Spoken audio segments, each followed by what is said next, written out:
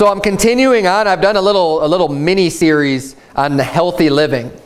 If you remember, I, I, started off, I did a healthy living on diet and what we should be eating and the things that, that are good for our body. And then last week, I did one on our health and how we ought to be treating that with preventing disease and you know vaccinations and other things that we take in and, and how we ought to be treating our body in order to maintain a healthy body and you know going to the doctor and those types of things. So tonight I'm going to continue on with the subject now of child birthing and child rearing. Okay, these both have to do with, with healthy living and, and raising your children and giving birth to children. And I want to start off because, you know, we get inundated with all this false wisdom, the wisdom of the world, which is, which is nonsense and which is garbage. And these days, we have a philosophy of family planning. And normally, what, you when they talk about family planning, usually it's referring to the use of contraception to prevent having children, right? Now, it should go without saying that the family planning should always be a result of a married couple. Right? The Bible says that fornication is wickedness. And that you, you are not supposed to have a, a relation with the opposite gender until you get married. That is God's plan. And that is going to be the plan to happiness. You don't want to be having relationships outside of marriage. Wait, kids, until you get married before you start to have a family and before you commit an act that is only designed to be with your husband or with your wife. But today we have people that, that talk about this family planning and they, they push contraception and they'll say, you know, you need to limit how many children you could have because it's irresponsible, you know, for you to have more children if you can't afford it and everything else. They'll try to give you all kinds of reasons not to have children. But let's look at what the Bible says. We read Psalm 127. Let's look at it again starting in verse number 3. Actually, verse number 1. The Bible says, except the Lord build the house, they labor in vain that build it. God is going to build your house. God is the one that opens up the womb, and God is the one that closes the womb. We just finished up a Bible study going through the book of Genesis. You can start reading through. Read on your own the book of Genesis. Where it's, it's January. You know, a lot of people have a a New Year's resolution to read the Bible in a year. This is, this is the month where the most people are reading through Genesis than any other time of year. You have a lot of people starting off the year saying, I'm going to read the Bible. I'm going to get my Bible out and read it. And they get started. And they start in Genesis chapter 1. And we'll see how long that lasts. Hopefully it lasts, you know, Lord willing, it's going to last a whole year for people. I, I really hope it does. But in Genesis, you're going to see a lot of stories. You see the story of Abraham and Sarah and how God had promised Abraham was going to have a multitude of, of seed, of people that, that were going to come out of his loins, of, of nations. And God was going to bless him extremely. And Abraham was like 100 years old, and it's still like, no child, you know? I mean, you live all this long, but it's because God is in control. God is in charge. We saw that with Isaac and Rebekah. Same thing. They prayed for 20 years to have a child. And Abraham, remember, he had Isaac was his son. Now, he had a few other children that were illegitimate children through other people other than Sarah. But Abraham and Sarah had one child. Isaac and Rebekah had twins, right? They had Jacob and Esau. Those were their children. And that's all they had. And God, and God opened up the womb and gave them two children. But then what about Jacob? Right? Now, Jacob had a few wives, which was wrong, but we see, especially in the story of Jacob, how God was opening up Leah's womb and he was closing Rachel's womb because Rachel was the one that was loved and Leah was the one that was hated. And God didn't like that. And Leah was the legit, even though Jacob was deceived, Leah was the legitimate wife because he's the one that, she, that he married first. She, he married her first. And he should have just stuck with her, even though he was deceived. But, of course, that's not what happened. But God was opening Leah's womb and giving her children. Why? Because it's a blessing. Look at verse number 3 here of Psalm 127. The Bible says, Lo, children are an heritage of the Lord, and the fruit of the womb is his reward. God says, when you have a child, that's a reward from God. That's a very good thing. But these days, you know, the world's going to tell you, oh, children are nothing but a pain. They're just a burden. They're just a lot of work. They're just a lot of money. So you need to limit how many you have. No, if God's going to reward me, I'm going to want as big of a reward as possible. We should. We should have this attitude that children are a wonderful thing. Children are a great thing. Hey, praise the Lord. I praise God for the four children that he's given me. I am extremely happy for them, and I want to have as many children as possible. Look at verse number four. As arrows are in the hand of a mighty man, so are children of the youth. Happy is the man that hath his quiver full of them. They shall not be ashamed, but they shall speak with the enemies in the gate. The Bible's saying, look, you should be happy as a man if you have, he, he equates here children to being like arrows, right? He's saying, as arrows are in the hand of a mighty man, you know, a mighty man that knows how to use his bow and arrows, and he's able to shoot those arrows, he said, hey, so are children of the youth. And you're going to be happy if your quiver, the quiver is what holds the arrows, it's the little thing that holds all your arrows, if your quiver is full of them. Meaning if you have a lot of children, that's going to make you, you, you should be happy for that. That's a good thing. It's a blessing from God to have children. Completely the opposite mentality today is being taught. So number one, family planning should be let God decide how many children you're going to have. That's what I believe. I don't believe we should be interfering. If God's the one that opens up the womb and closes the womb, I don't think we should be interfering and meddling and going to the test tube, going to the laboratory, trying to create a baby, or going to the bedroom and doing, you know, using some other products to prevent yourself from having children. I don't believe that. I think that we should let God, God knows, God's the one who gives us life. God's the one who gives us our children, and he's given them unto us as a reward, as a blessing, and we should let him determine what the right amount of children is. Now, it doesn't mean that you're a, if God has only blessed you with maybe one child, like he did with Abraham, that doesn't mean, I mean, Abraham was a great man. But that's what God deemed fit to give unto Abraham. Just like Isaac and Rebekah. Hey, these are great people in the Bible, great examples, great Christians. Yet he only gave them two children. We need to learn and be happy with what God has given us. If God has given you one child, praise the Lord for that child. If God has given you two children, praise the Lord for those children. If God has given you 15 children, hey, praise God for those children. But we ought to leave the planning up to God. Let him decide. The Bible tells us and explains that, you know, I have been old and now I'm young and I have yet to see the righteous begging bread. If your concern about having children is that, how are we going to feed them? How are we going to support these children? Because is it true children are expensive? Yeah, it does. They, they cost money because you have to feed them and clothe them and, and take care of them. Of course it does. But it's not a mathematical equation. If God's the one that's going to give you the children, and you're doing it legitimately through your, your marriage, through having a relationship that is normal for a man and woman to have that are married, and, you, and it results in having children, hey, God will, God will make sure that you're fed and clothed and taken care of. God has promised to do that for you. And if God's going to give you another life, He's going to give you another child, we can trust God that He will allow us and help us to get through and to take care of those children. God is not going to put us in a situation where we are not able to, to deal with it or we're not able to take care of it. Isaiah, you don't have to turn there. Isaiah 44, 24 shows us that God's the one that creates life, and he's the one that creates the babies. It says, the Bible says, Thus saith the Lord thy Redeemer, and he that formed thee from the womb, I am the Lord that maketh all things, that stretcheth forth the heavens alone that spreadeth abroad the earth by myself. It says he formed, he formed him in the womb. God is the one that forms and fashions the children. God is the giver of life. If God decides to, to give life to you, let's just assume that God knows what he's doing. Now, that being said, let's move on to the actual birth right? Remember the subject is healthy living. We're, we're looking at child birthing and also child rearing. So the first thing I would say in, in child birthing is let God do the family planning for you. Don't, don't rely on your own wisdom and worry about how you're going to take care of your children. Look, God's going to give you what you're able to handle. And we don't need to go to man's invention to try to, to try to get around the way God designed things.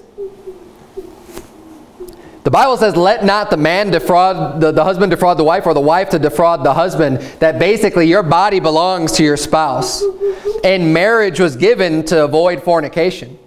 And that it's totally normal to have this type of physical relationship with each other. And that you shouldn't be withholding, neither the, the man or the woman should be withholding that relationship from each other. The Bible says, except to be with consent for a time that you may give yourself to fasting and prayer only for fasting and prayers is where you should be uh, agreeing to withhold that from each other so that you could humble yourself before God. And, and I preach an entire sermon on fasting and why we do that.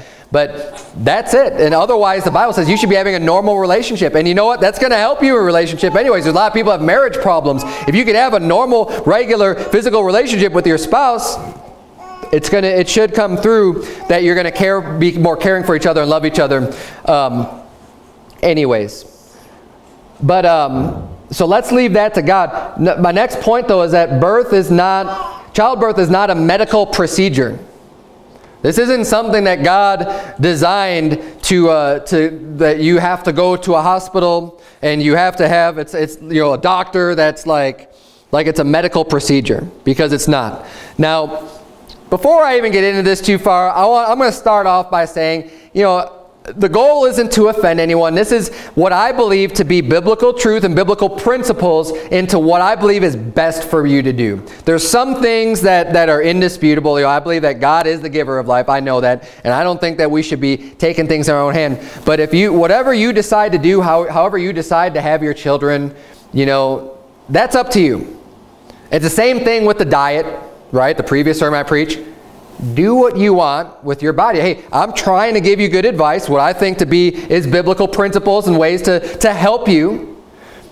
Take it or leave it. It's up to you. And I'm not going to say, you know, I'm not going to say that people, oh, if you go to the hospital and give birth in the hospital, it's a sin. I don't believe that for a second. Not for a second.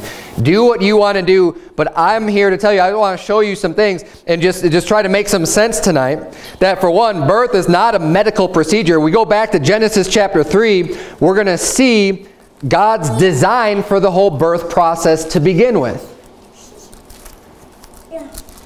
In Genesis chapter 3, we see the result of the sin of Adam and Eve in the Garden of Eden. Both of them sinned and God put a curse upon both of them. Remember Adam, for you know, God caused the ground to be a lot harder to work. So that he said, Adam, because you've sinned, by the sweat of your face now, you're going to have to toil and work the land in order to bring forth food, in order to feed yourself. In the garden, everything was provided for them perfectly. Now you've got to work and you're going to work until the day that you die. That's the curse that came upon Adam. But let's look at Eve. It says in verse number 16 of Genesis 3, it says, Unto the woman he said, I will greatly multiply thy sorrow and thy conception. In sorrow thou shalt bring forth children, and thy desire shall be to thy husband, and he shall rule over thee. So here we see the submissive role of the wife to the husband and her desiring him to lead over her. And not only that, but the the, the, the conception, the childbearing is, is going to be brought forth in sorrow. Why? Because it's a painful process. Anyone who, any woman who's had children knows that. I know it's a painful process just from being with my wife while she's giving birth to our children. It's not a fun thing. You know, a woman that's in travail, a woman that's in labor, you know, she has to spend, you know, nine months walking around as the baby grows and grows and grows and gets bigger and gets harder to carry around and, uh, and adds more weight and things. And then at the end, when the woman has to push this baby out of her body, it's, a, it's, not a, it's not a fun thing. But this is the way that God designed it, which is also why I don't believe that women should be taking drugs in order to remove the pain from the process. This is something that God has designed. And you know what? It goes, I don't want to say it goes beyond the Bible because the Bible should be enough evidence as it is. But there is plenty of evidence. If, you, if you're someone that really likes looking at science and, and other things, there's other reasons and there's other studies that have been done on mothers who have taken drugs and didn't experience the pain of childbirth versus those that have. And there tends to be a much bigger bond um, with the child after someone has not taken any drugs or anything to reduce that pain but has gone through it naturally. Um, it's just something that, that's part of the process. It's kind of like when, uh, when you go through a hard time with somebody individually uh, oftentimes like when, when people go to war and they go through these extreme circumstances, you, you tend to build bonds with people through, through real difficult times, through times of pain, through times of, of, of extreme stress or trauma. You will end up building bonds and relationships with people through that process. And it's the same way when a, when a woman gives birth to a child. It's a, it's a big process. It's a process for the child and for the, for the mother. But um, when you go through that, there is going to be sorrow in bringing forth the children, but as soon as the baby's born, then there's great joy. Now, man is not as smart as he thinks he is. And this is a common theme through all of the healthy living things. We should not be putting too much confidence in man. We should not be thinking that, oh, you know, these scientists are all just so smart and so brilliant and they know better. When, when you find something that's contradictory, uh, between what man might say to be true or good and what the Bible says, hey, the Bible's always right. The Bible says in Ecclesiastes chapter 11, verse number 5, As thou knowest not what is the way of the Spirit, nor how the bones do grow in the womb of her that is with child, even so thou knowest not the works of God who maketh all. God designed things that, that are so complicated that, that we don't even understand how they work, like how the, the bones grow in the womb. I mean, think about a child from, from those cells growing into a, person and just becoming someone with flesh and blood and bones and, and organs and how everything just is created. We don't, we don't understand how that works. We can't understand that process. That's way too complicated for us to get. But we know that God has designed it that way, and God is the one who created it that way. Now, the evolution philosophy will teach you that we need to improve on the birthing process. We need to improve on the things that God has made. And that's the way it is with, with everything that we've been going over, whether it be our health, whether it be the food that we, you know, man always thinks that he needs to improve on what God has done, and it always leads to problems. One of the improvements to giving birth is at least viewed by some people, not viewed by me. I don't think it's improvement at all. I think it's a backstep.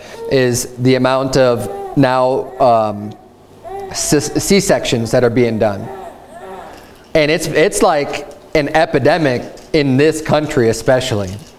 I looked up the statistics uh, on, the, on the Center for Disease Control, right? A CDC website, not some crazy website, not even, not some pro-life website, not some pro-natural birth website, not some pro-home birth website, the CDC. Their stats say that the number of, you know, call them vaginal or regular deliveries, natural deliveries is 2,642,000. And the number of cesarean deliveries was 1,284,000. If you didn't catch that, that percent is 32%. Over 32.7% of all deliveries is by C-section. That means one in three. One out of three children being born is they're operating on. They're performing a medical procedure. They're going under the knife and cutting out that baby out of the body to be delivered.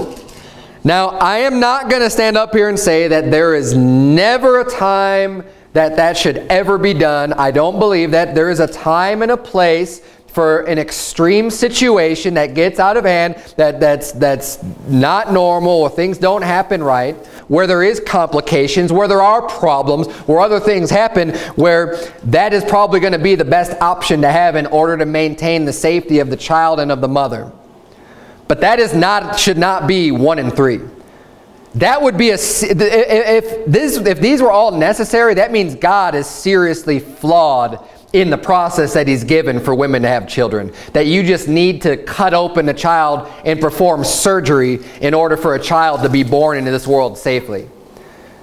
That is ridiculous. But there's lots of reasons people choose to do it. These days people are, are choosing to do that because of convenience whether it be the doctor's schedule or, or the, the, the woman's schedule. I need to get back to work at this date, so let's just plan to have this baby right here, and I'm going to do it when I want to do it. And this is the attitude that people have of just saying, I want to do things my way. I don't want to wait on the Lord. I don't want to wait on God who's given me this child. I'm going to take matters into my own hands and do them my way. Now, there's plenty of reasons. Uh, I mentioned before about having a hospital birth. We actually had a hospital birth with our first child. and uh, we were planning a home birth, but there were other issues and complications and things that came up, and I think that there's completely reasonable to go and do this. And, and again, you know, if you decide to have all of your children in a hospital, go ahead and do it. But here are some reasons that I have found that I don't think it's the best option to make for the health for your family. One is that God designed this to be a natural process. This is not a medical procedure that needs to be done. Eve had children with Adam there, right? She was able to get through that and the children came out just fine. People all throughout history have been having babies, and it has not been a requirement to go to a hospital to make sure that you, that you have somebody there to be able to perform surgery, you know, even just in case.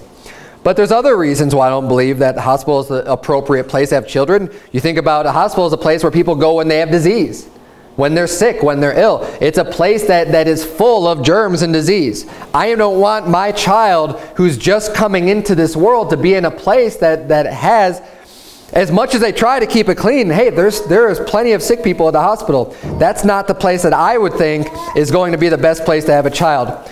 Also, you consider the, the rates this, at which doctors these days will perform a C-section that will, you know, because once you go to the hospital, there's, there's certain freedoms you kind of lose.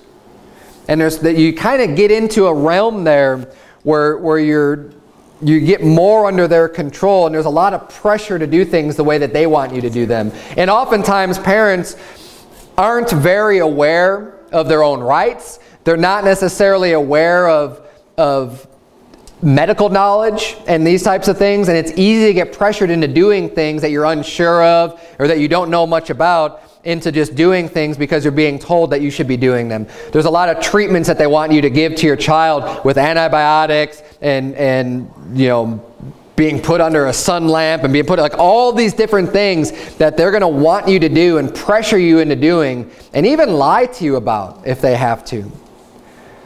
I remember being told that if, what was it, if we, um, with, the, with the hospital birth, we did it, we were done, and I wanted to go home. And they wanted to keep Elizabeth there for minor. Her APGAR score was 9 out of 9. I mean, she was, she was deemed completely healthy. Nothing wrong with her. She had slight jaundice. Very slight. And they wanted to keep her and put her under the lamp and stuff. I was like, well, no, we'll just take her and bring her outside. She'll be fine. And what they tried to tell my wife, I, I, had to go home. We did the whole thing. I went home to take care of our, our animals and come back and just and, and make the whole move back home. And the, the hospital was saying that, um, okay, well, they said, well, if you refuse what we're recommending, if you don't stay in the hospital, if you don't keep her in the hospital with you, then your insurance isn't going to pay for, for the birth process. And that was a lie. I had to call up, because we had a midwife at the time, I had to call up and find out. But see, these are the things. You get put into situations, and people could lie to you. And you don't necessarily know. If you don't have all of your facts and you don't know everything going into this, it's easy to be manipulated. And that's just one, and that's a personal example. You know, I'm not saying that happens everywhere all the time, but this is something that we went through. But there definitely is a different mentality within the hospital. One of the reasons why is they need to cover their own um, lawsuits. There is a fear of people now because there's been so many frivolous lawsuits brought forth against doctors that they have to basically change their protocols. And this kind of goes, it's not just for childbearing, it's for everything. They will end up giving you way more of, of treatments or, or go through procedures that really aren't necessary, but the only reason they're doing them is to try to cover themselves that just in case they've missed something, they're just going to go ahead and do it anyways. We're just going to go ahead and do it, just like the C-section. Well, there might be some minor possible complication here. Well, we're just going to put under a knife and just make sure everything comes out okay. We're just going to take matters in our own hands. We're not going to leave anything to chance whatsoever. Another reason why I don't uh, agree with going into the hospital is that the staff there, you don't really have control over who's going to be in the room and who's going to be helping or even sometimes performing the, you know, delivering the child. And I firmly believe this. I don't think it's right for women to be going to male uh, OBGYN doctors. I don't think it's right to be exposing your nakedness to someone of the opposite gender who is not your spouse. I don't believe that to be true. I think there's something wrong with men who get into a field where they're looking at the private parts of a female all day long. You can say it's because they love children and they want to have babies. I don't think that's right. And I won't allow my wife to go to another man to, to open up before and have him be checking her out and looking at her. And I don't think that's right. But in a hospital, you don't always have that option. If there's a woman there, great, but you don't always have that choice. Now, thankfully, with our situation, we did have that choice. We were able to get a female there, but this is just one of the other things that happened. And, and look, you could call me crazy. You could say, I don't agree with that. Fine. I'm just trying to give you some of the reasons why I don't believe going to a hospital is the best choice. Now, if you have a problem, if there's if there's high risks, if you're someone who's diabetic or you have other uh, other factors that that will that will increase the risk of the child not being born safely and normally and naturally, you know, do what you think is best. Take the road that you think is going to provide the the best way for your child to be born. But under normal circumstances, normal healthy person having a child, God didn't intend it to be some big medical procedure. Now, just because God didn't intend it to be that way, I do think it is important to have somebody else there with experience. For example, a midwife. Turn, if you would, to Exodus chapter number 1. The Bible refers to women that are midwives. Women whose job was to help in the birthing process help other women. Women normally that had their own children have gone through this now can help and give knowledge unto other people.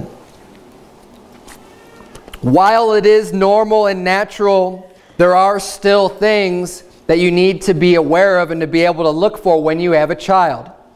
There still is risk, there still is danger, and there, you know someone ought to be monitoring and keeping track of the, the child and the mother because things can come up. And, and someone that has experience and that is knowledgeable in the health of a woman and in the, in the, the course of childbirth is very useful to have. Now look at Exodus chapter 1 verse 15. The Bible reads, and the king of Egypt spake to the Hebrew midwives, of which the name of the one was Shiphrah, and the name of the other Puah. And he said, When ye do the office of a midwife to the Hebrew women, and see them upon the stools, if it be a son, then ye shall kill him. But if it be a daughter, then she shall live. But the midwives feared God and did not as the king of Egypt commanded them, but saved the men children alive. And the king of Egypt called for the midwives and said unto them, Why have ye done this thing? And have saved the men children alive. And the midwives said unto Pharaoh, Because the Hebrew women are not as the Egyptian women, for they are lively and are delivered ere the midwives come in unto them.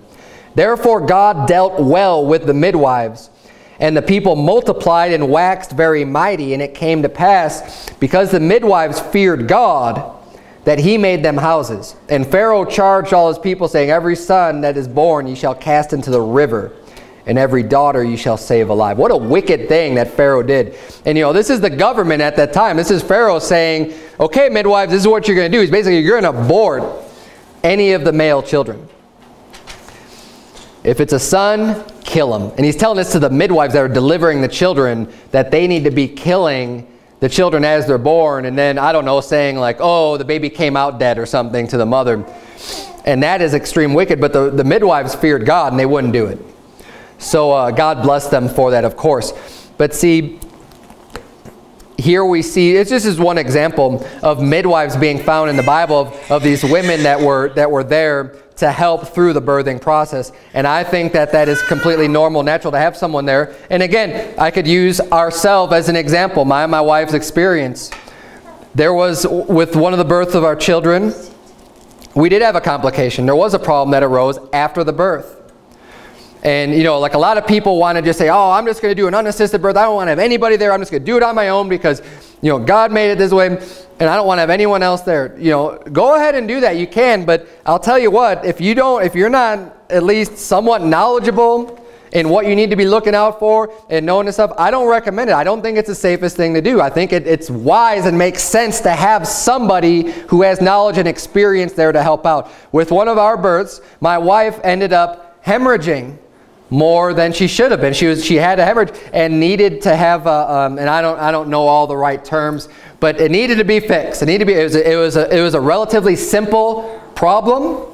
There was something that still needed to be expelled from her body, and the midwife was able to help that happen.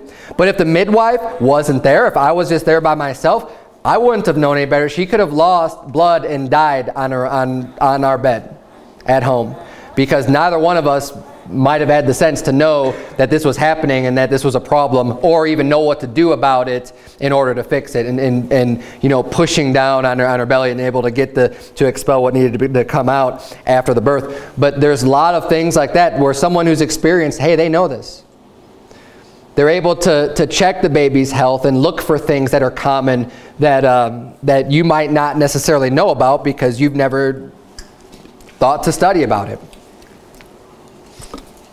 Having a midwife, I believe, is very important. I think it's very helpful to have um, somebody there to help along. I know with our most recent birth, my wife was extremely thankful that, that the midwife was there and able to help us through the process and help her, even though she's already had three. She's already experienced. She's had three other children. She said, thank you for helping me through this. She appreciated the help that she was given because by the time you have three, you're thinking like, oh, I can do this. And we did. I mean, the more, the more children we've had, the, the less of a concern it is. You know, with our first child, things were real hectic and we're like, you know, we're worried, we're nervous, we're scared. We don't know what's going on. We've never done this before. You have the child, oh, okay, that was great. That was good. We've been through this before. The next child, you know, okay, we've done this once before. And the more you start to have, the more you start to feel comfortable because you realize, okay, we can do this. We've done this before. We've been here before. But even on the fourth, having the midwife there to help and give some guidance and, and, and to comfort and, and to just guide her through the, the path of having a child was very important. I believe was very helpful. There's plenty of other reasons that people can give. You know, when you're at home, if you have a home birth, you're a lot more comfortable. You're not, you're not in some, some strange place. You can actually get some good food. You don't have people telling you what to do. You know, I think in the hospital, like they don't let women eat and they don't let them drink and like all you can have is ice chips and all this other stuff. Like, you're an adult, you should be able to do what you want to do. You know, and you should be able to get energy if you have energy. If you're having a long labor, you ought to be able to, to provide some type of nutrition to your body to help your body to keep going. There's a lot of things that, that I believe um, about that. And, you know, and, and the way that the child is born, you know, the, with the woman on her back, it's easiest for the doctor delivering the baby to have it that way, but that's not necessarily the easiest way for a woman to deliver a child. So there's, there's many things, many reasons, and you know, look into it for yourself. I'm just kind of kind of bringing this up and preaching this. I don't want to get too far out of the Bible realm um, because this is a church and I want to preach the Word of God. But I also want to be able to be helpful in providing some information um, in case you, you have not looked into this for yourself or uh, are wondering what might be the, the best way to do things. I think getting a midwife, as the midwives in the Bible here are taught, is, uh, is the way to go. Unless, of course, there's some kind of extreme circumstance where it is, not, it is very abnormal. Now, let's turn to the book of Proverbs, Proverbs 13. I'm going to shift gears here. That's the child birthing. Now let's go into the child rearing, the raising the children, and the proper way of doing that. Because again, we live in a day where they're going to tell you um, different forms of discipline and different um, methodologies for raising your children than what the Bible teaches.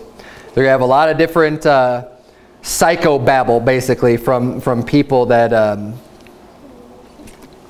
really have no wisdom at all. But let's look at Proverbs chapter 13.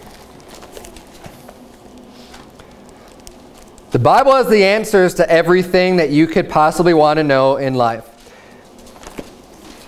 Raising children is extremely important. The way that we raise our children, I mean, it's going to impact them for the rest of their life.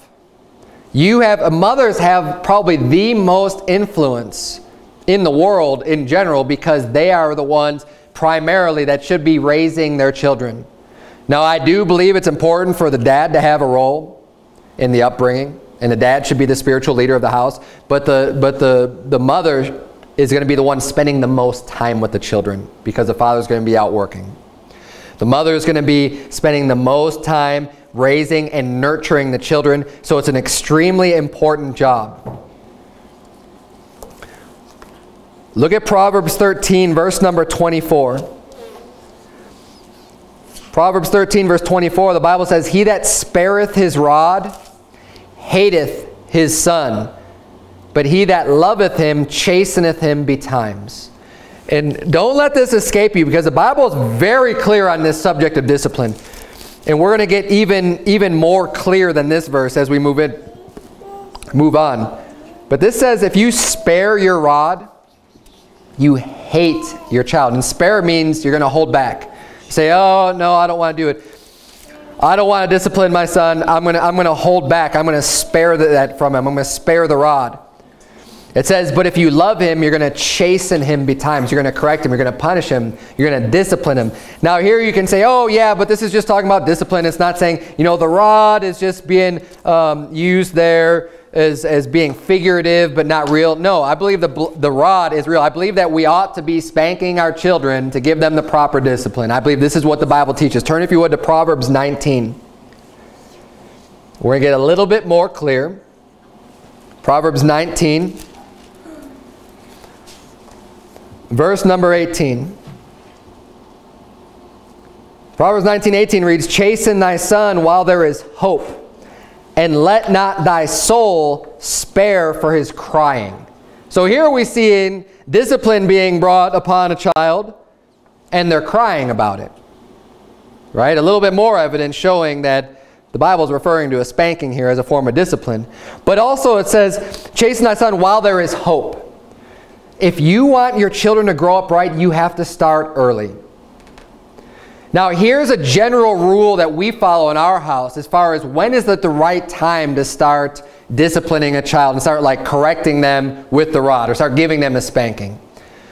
I believe what, what we do is when the child starts to get their own will and they can understand commands and they can understand you telling them what to do, and them just going like, uh-uh, and, you know, and just having their own mind, that's when you need to start applying the discipline. Obviously, like Jonathan here, there's no, he, he has no clue what's going on. He has no, there's no reason to discipline a child. You don't discipline a child because they're crying, right? Because he's hungry or because his diaper needs to be changed. That's ridiculous. You discipline a child when they're doing something wrong. In order for a child to do something wrong, they need to know that what they're doing is wrong. They need to know that they're that they're, they're doing something or being defiant or being rebellious. They need to know the difference and being able to respond. But that is the time when you need to start disciplining your child. They need to start from a young age knowing there's consequences for them being rebellious, for them disobeying and breaking the rules. That's why the Bible says, chasten thy son while there is hope. Because if you let it go too long, if you wait until your child becomes a teenager before you start to discipline them, there's no hope. You've already lost the battle. They've already gone their whole life not having any consequences for their actions. Once they get to a certain age, it's, it's, there's not much you're going to be able to do to correct them. Look at Proverbs chapter 23. Now we're going to get really clear about what the Bible teaches about correcting, correcting children. Proverbs 23, verse number 13. Proverbs 23. Bible says, withhold not correction from the child. What is this correction? For if thou beatest him with the rod, he shall not die. Thou shalt beat him with the rod and shalt deliver his soul from hell. I don't think you could get much clearer than that. The rod is used to beat the child. Now, we think of the word beat these days and you, and you think of like child abuse, like you're, you're beating them and just, and just inflicting all kinds of wounds on the child. That's not what this is talking about. And anyone with half a brain could realize that's not what this is about. A beating, you know, you hear this all the time. You know, you get back here, I'm going to beat your butt, boy. Right? I mean, something like that. That's what the Bible's talking about. There is a, a, a specific spot on the body that God has designed and given to us that's padded, that's not going to cause any type of injury, but it also, you feel some pain. And it's the, the rear end. And that's the place that God has designed for us to receive that instruction because you're not going to hurt your child. You know, I don't believe in child abuse. I don't believe in injuring children. You know, and breaking bones and black eyes. That's a bunch of nonsense. You know, the point isn't to hurt your child, isn't injure them. The point is to, uh, though it is, however, to let them know that there is going to be a consequence and it's going to be a physical stinging pain that you're going to feel when you disobey and break the rules. And the Bible says right here, and this is extremely important, it says, Thou shalt beat him with the rod in verse 14 and shalt deliver his soul from hell. What parent doesn't want their child to go to hell? Nobody's going to want their child to go to hell. And this is, this, is where, the, where it, the gravity comes in on how important the proper discipline of a child is. He's saying, look, if you beat your child with a rod, if you give them the proper spankings, you will deliver their soul from hell. Why? Why is that? Well, one of the reasons because there is a, a, fundamental truth in learning that when you break commandments, when you break the rules, there is a consequence for it. There is a very bad consequence for it, something you're going to experience and feel. The same way that with God, because with God, it's taken more on faith. You have to understand that God exists and God has rules for us and God has laws and that if you break God's laws, he has a punishment of hell for those sins. That's more abstract, but when you've grown up your whole life realizing, hey, my parents have given me rules, my parents told me not to do this, and if I do it, what happened? I got a stinging pain in my rear end. They learn and associate that this is something that happens when you do wrong and when you do bad. And it's not nearly as hard to accept the fact that there is a God, there is a heavenly Father that is out there that has rules for us to follow and that he has a very bad punishment for us when we break those rules. This is something that, that you know, you won't think of automatically when you decide how to discipline your children, but it's written right here in black and white in the Bible. And he's saying, look, if you beat him with the rod, he's not going to die. Okay? And the Bible says, spare not for their crying. Spanking my children is not a fun thing. It's not something I enjoy to do. I'll just be honest with you. I tell this to the kids all the time, look, I don't want to do this, but in a way I do just because I want them to learn right from wrong. So when they do wrong, it's, it's like, look, don't get a spanking. I don't want you to get a spanking. But if you need one, we're going to give it to you. We're not going to hold back. And, you know, sometimes the kids, they get all crazy. Oh, they start freaking out and stuff. But you don't have to worry. About, look, they're not going to die. They're going to get a spanking and it's going to be over and everything will be just fine. And it's amazing how quick the kids, they get their spanking, they cry, oh, it's the worst thing in the world. And then like five minutes later or 10 minutes later, they're just back to playing again. Everything's, everything's fine. But as a parent, it can be scary. And especially as a parent who's never done this before and you start to introduce spanking, you think, well, maybe I should spank my children. And then you see it, it's like, oh man, what am I doing? and you think, because the way that kids can cry, you could think like, like I've been worried like, man, the neighbor's probably thinking we're doing something, you know, like we're hanging the kids up by their toenails or something because they could scream so loud. But it's like, that's not, you know, it's not that bad. They just get really dramatic. And it's true, it's not that bad. You could, you can, you can take your spanking stick or whatever, like we have, and, and I've done it to myself just to make sure I'm applying the appropriate level of pain to my children so that it's, because you, you don't want to overdo it. You want to be able to inflict what's necessary to give them the correction, but you don't want to overdo it and go crazy and, and, and everything else. But sometimes even just the bringing it out is enough for the kids to start screaming and bawl, oh, no, no, no, Spare not for their crying. It's necessary. It's needful. It's something that we need to do. Um, but child rearing is more than just discipline. It's much more than just that. Now, that is an important aspect, and I think there's a lot, the, the spanking has gone by the wayside these days. It's something that, oh, there's these new methods and giving kids timeouts and all this stuff. Look, it's nonsense. Just give them what they need, and, and they'll grow up to be much better for it. And I think it's, it's self-evident. When we go out places, the vast majority of times, I'm not saying my kids are perfect by any means, because they're not. I mean, I got one right now that's kind of acting up in the front row but she's two years old. But by and large, we'll go out to restaurants, we'll go out places, and there's always people saying, oh, your, you know, your children behave so well. It's like, yeah, they better behave well. but it's because they're used to nowadays families going out and, and children just running around and, and wreaking havoc and doing whatever they want to do and throwing fits, throwing themselves on the ground. Why? Because you have a parent that is unwilling to, to give them what they need. You have a parent that is afraid to give them a spanking, or a parent that says, oh, I don't want to hurt them, I don't want to do this, I love my children. No, you don't love them. The Bible says you hate your child if you spare the rod. You hate them. You think you love them and you don't. You're not giving them what they need. But there's more to it for training kids than just a discipline. Look at Proverbs chapter 29. Proverbs chapter 29, verse 15. We're getting a lot of wisdom from Proverbs this evening. Proverbs 29, verse 15, the Bible reads, The rod and reproof give wisdom, but a child left to himself bringeth his mother to shame. When the wicked are multiplied, transgression increases, but the righteous shall see their fall. Correct thy son, and he shall give thee rest Yea, he shall give delight unto thy soul. Verse 15 says there, the rod and reproof give wisdom. So first you've got the rod, but the reproof is the telling them that they're wrong. You have to explain what they did that's bad. It's not just the spanking. It's not just the physical punishment. You have to correct them and explain what they did was wrong and why it's wrong and what they need to do that's right to give the wisdom.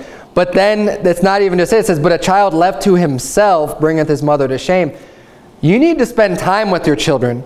Not just for discipline, not just when they do things wrong, but in order for them to do things right. You need to be investing time in the child and teaching, actively teaching and training, not just letting them off to their self because they're a hassle and a burden and you have so many other things to do. If you leave a child to themselves, it's going to bring your mother to shame. Now, I believe the responsibility that God has given to teaching and training children falls upon the parents.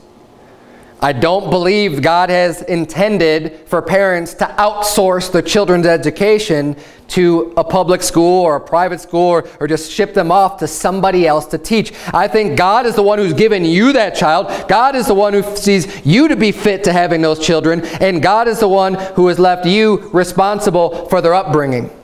Now, I'll tell you this right now. Nobody else in the world is going to have the same love, care, and attention that's going to be given to a child other than the parent.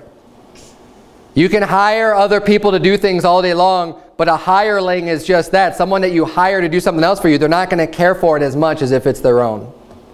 Nobody will.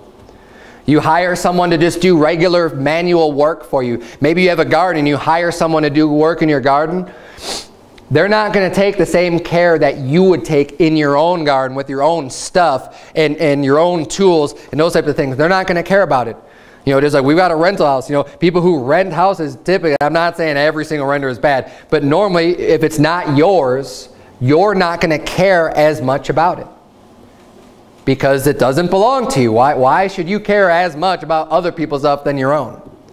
It's, it's natural. That's the way people are. So when you ship off your child to get, to get taught by other people, they don't have the same love and care for your child that you do. To them, it's a job. And I'm not saying every teacher is terrible or anything like that, so don't, you know, don't take this the wrong way. Because there are people that care about children that aren't their own, but it's still, it's not going to add up. It's not going to be the same as your own child.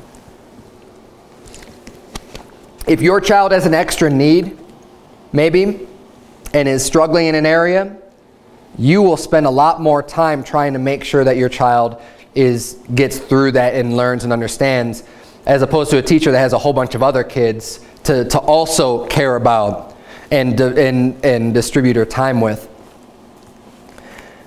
I believe that it is our responsibility as parents in order to teach and to train our children. Look at uh, Proverbs chapter 22. I think you're just in Proverbs 29. Look at Proverbs chapter 22.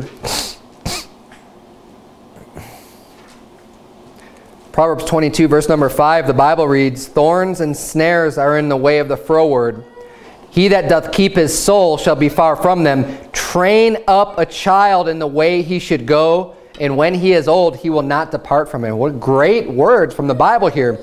Look, if you can train up your child in the way he should go, not just the way he shouldn't go by disciplining him, but in the way that he should go, train him. This is what you need to be doing. This is the way that you need to go. When he's old, he's not going to depart from it. The work and the time that you invest in the training and education and the learning that your children get from a young age, they're not going to forget it.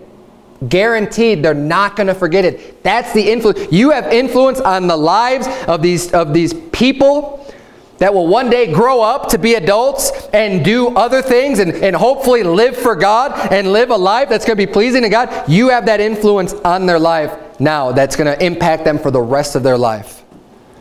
Use that time wisely. Understand the gravity and importance of your own job if you are training and teaching your child to train them up in the right way that they should go. And don't treat it as something that's not that important.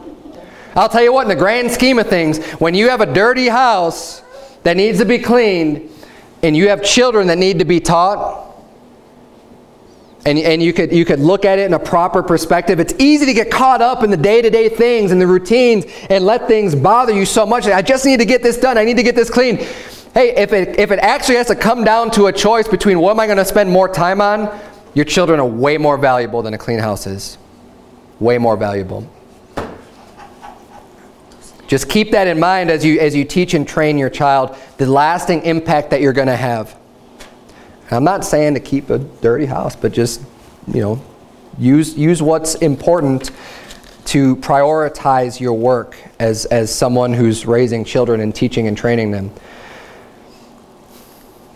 We see a good example of this. Turn, if you would, to Deuteronomy chapter 6. But there's a good example of this, of this proverb. Train up a child in the way that he should go, and when he is old, he will not depart from it. In the life story of Moses. Remember, Moses was sent in the basket after he was born as a baby, sent down the basket in the river. His sister followed him, you know, and Pharaoh's daughter um, took him up and wanted him for his own. But then his sister said, hey, do you want me to get a nurse for you so that, you know, the baby can be fed? And of course brought him back to his parents. And they nursed him until he was weaned. So we're talking about Moses having not a very long time with his parents before he was given back over to Pharaoh's daughter. Now, we don't know how old he was. The Bible doesn't give an exact age, but he was weaned. I mean, it could have been two or three, whatever. The first couple years of his life, though, he spent with his parents. The Bible says in Hebrews 11, 23, by faith Moses, when he was born, was hid three months of his parents because they saw he was a proper child and they were not afraid of the king's commandment. By faith Moses when he was come to years, refused to be called the son of Pharaoh's daughter. I don't think it's a coincidence that Hebrews chapter 11 mentions the role that his parents had, seeing he was a proper child, that from going from that straight to Moses refusing to be called the son of Pharaoh's daughter. When he was much older, his years came, he remembered somehow the teaching and where he came from even though it was a very short amount of time when he was really young. The time they spent with him was very important in what he did later in his life. Deuteronomy chapter 6, look at verse number 5. The Bible reads, And thou shalt love the Lord thy God with all thine heart and with all thy soul and with all thy might. I preached on this this morning. Verse number 6, And these words which I command thee this day shall be in thine heart Look at verse 7. And thou shalt teach them diligently unto thy children. Thou, he's saying you. Directly, you shall teach them unto your children, not unto other people's children. You shall teach these things diligently. That means I mean, you are really focused on this and you are intent on making sure that your child is taught. You shall teach them diligently unto thy children and shalt talk of them when thou sittest in thine house and when thou walkest by the way and when thou liest down and when thou risest up. He's talking about teaching your children all of these different times. That means your children are going to be with you at all these different times. They're not going to be sent away. And thou shalt bind them for a sign upon thine hand, and they shall be as frontlets between thine eyes and thou shalt write them upon the posts of thy house and on thy gates. the words of the Lord, God's word, the importance given to that. He's saying, you know, teach it to your children. Talk about it all the time. Let them know they need to love the Lord their God with all their heart, with all thy soul, and with all thy might. Put it on your posts. Put it in your house. Put the words of the Lord up. Put them as frontlets between your eyes. He's saying, like, make sure God's word is always in front of you. It's always being talked about because it's so important to know this. And this is the prime, the most important thing you could ever teach your children is teach your children to love the God, to love God and, and to keep His commandments. More important than learning any, any other school subject. The Bible should have the preeminence. Now, I'm not, again, don't put words in my mouth. I'm not saying that none of the other subjects are important. But teaching God's Word is the most important. Deuteronomy chapter 11, the last place we'll look, it's basically going to say the same thing about teaching our children. I believe it's our responsibility to do this. Deuteronomy chapter 11, verse number 18. The Bible reads, Therefore shall ye lay up these my words in your heart and in your soul, and bind them for a sign upon your hand, that they may be as frontlets between your eyes. And ye shall teach them your children, speaking of them when thou sittest in thine house, and when thou walkest by the way, when thou liest down, and when thou risest up, and thou shalt write them again. And it goes on the same thing. This is so important of a command. This is so important. God is repeating himself within five chapters.